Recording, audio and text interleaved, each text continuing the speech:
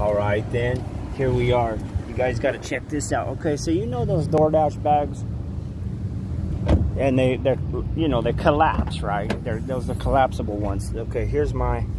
So you got one, right? got the one bag, you got the two bag. I got this one just in case. This is your St. Jude's UC Davis. Here's your Grubhub pizza pizza bag, right? Look at the new purchase though. Look at this new purchase right here. Let me show you. Pick this up just now at Safeway. Shout out Safeway. Look at this bad boy. Okay? So you got your, and it does collapse, right? You got the lid. You got your Velcro on the sides, right? And then this, this little tab pulls out and the whole thing collapses. I don't know how it collapses. I haven't got that far. I just got this though. Wanted to share that. I got someone hollering at me. I don't know what's going on. But uh, that's your Golden State.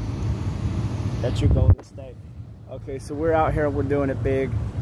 Uh, it's a nice day, a little smoky. Let's rock and roll.